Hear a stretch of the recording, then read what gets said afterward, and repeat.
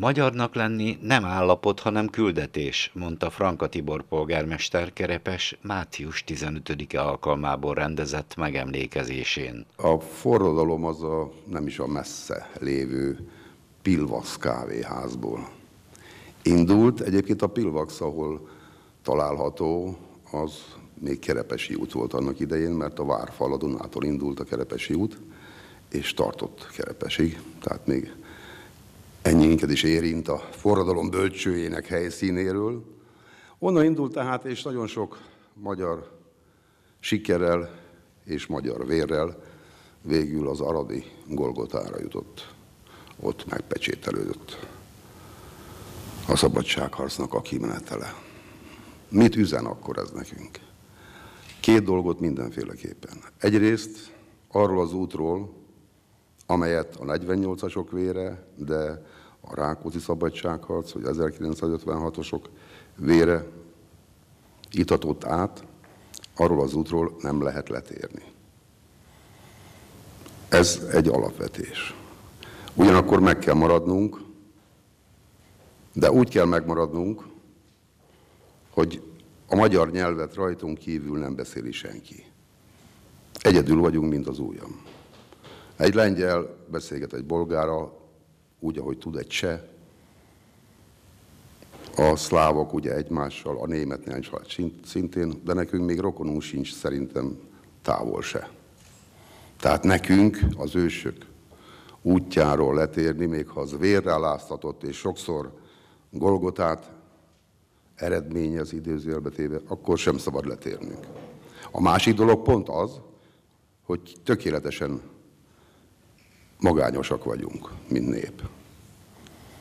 Mit kell tennünk? Azt kell tennünk, hogy a környező népekkel igenis szövetségbe, konfederációba kell lépnünk, amelyet szerintem a mai magyar politika kitűnően érez és művel, mert csak úgy tudunk megmaradni, hogyha a környező népeknek az érdekei is úgy kívánják, hogy minket elismerjenek, tiszteljenek, becsüljenek. Tehát közösen kell velük élnünk, olykor nem is tetszik minden, neki se tetszik minden, nekünk se tetszik minden, de a megmaradásunk lényeg az, hogy a minket körülvelő olykor hasonló kicsi vagy még kisebb népekkel, és nagyobbakkal is szövetségünk legyen abban az értelemben, hogy az ő érdekeik is találkozzanak a mi érdekeinkkel. Így tudjuk egymást erősíteni. Ebből következően ugye magyarnak lenni nem egy állapot, hanem magyarnak lenni küldetés. A következőkben Vécsei László országgyűlési képviselő mondott köszöntőt, amelyből idézünk. Ez az ünnep több, több annál, mint ami hazafiságunk pragmatikus fölmutatása. Igen, szeretjük is ezt az ünnepet, és ezt évről évre ki is mutatjuk azzal, hogy meg annyiszor kitűzzük az erő, a remény és a hűség trikolóriát, magabiztos, erős magyar nemzet jelképét. Szeretjük ebben az ünnepben a reformkort, a reformkor nekibuzdulását, a márciusi ifjak lendületét, a dicsőséges tavaszi hadjárat nagyszerű győzelmeit. Máig a szabadság illatát idézi számunkra a tavaszi szélben szálló kosútnóta. Nagy hatalmakkal is szembeszállunk, ha nemzetünk önrendelkezése, boldogulása, jövője a tét.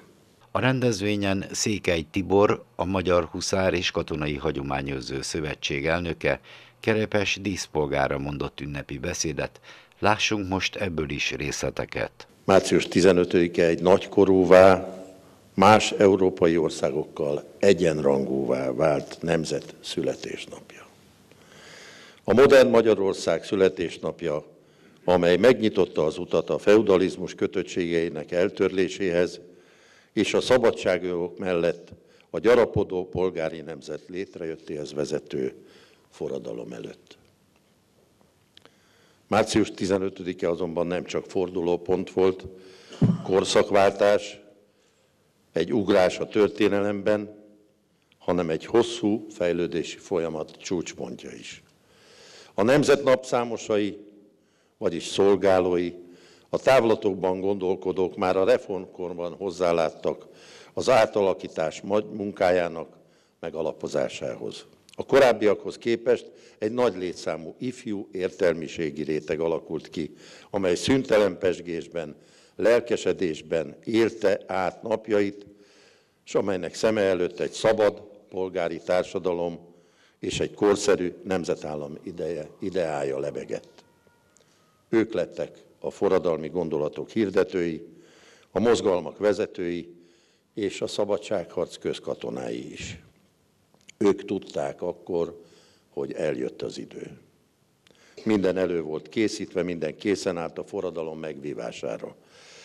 A fejekben már készen voltak a törvények, amelyek egy új és korszerű Magyarországot teremtettek. Megszülettek a törvények a független és felelős magyar kormányról, a népképviseletről, a közterviselésről, Erdély és Magyarország uniójáról.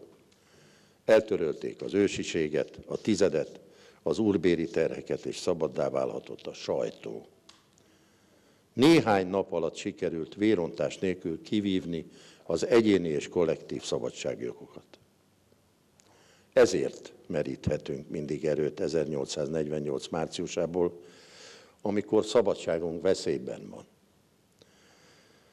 Március 15-én évről évre megemlékezünk mindazokról, akik részt vettek ebben a harcban, akik életüket és vérüket adták a magyar szabadságért.